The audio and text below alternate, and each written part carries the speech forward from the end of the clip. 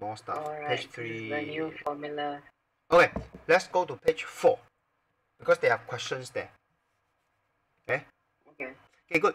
So um, for page four, okay, let me just get the page out so we can we can be looking at the same page.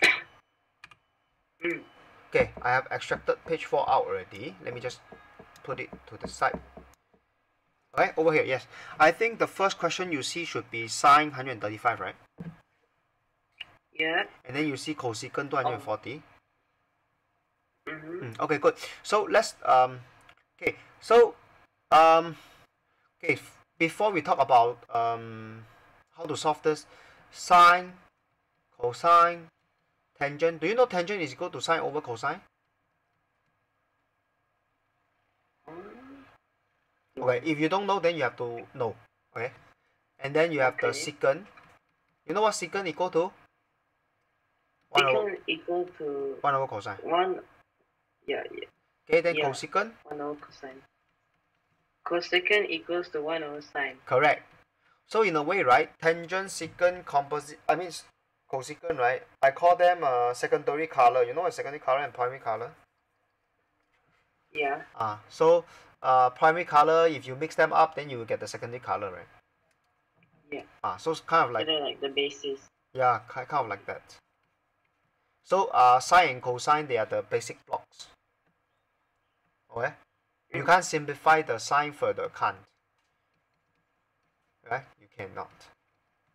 Okay? But for tangent and secant and cosecant, you can simplify them into, uh, I mean, in terms of sine and cosine. Alright? Alright. Okay, good. So now let's talk about how to um, solve or how to deal with the special angle. Okay, so I think they have a table for you to memorize the special values, right? Or sp- for special angles. Table. Oh yeah, yeah, yeah. It's right here. Okay, yeah, no problem. But uh, do you, uh, are you asked to memorize? Memorize the cosecant and everything. No, are you? Oh, no, no. This one, this one is must. Okay. yeah, yeah. Okay, the, the, the, the table of uh value like square root over two, that kind of thing. Oh wait. Oh, you mean that? Wait, let me check. Not like that.